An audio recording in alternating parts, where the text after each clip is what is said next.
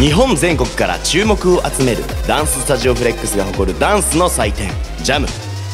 常に業界をリードしてきたジャムが2017年新たな世界を作り上げる。3月11日12日2日間。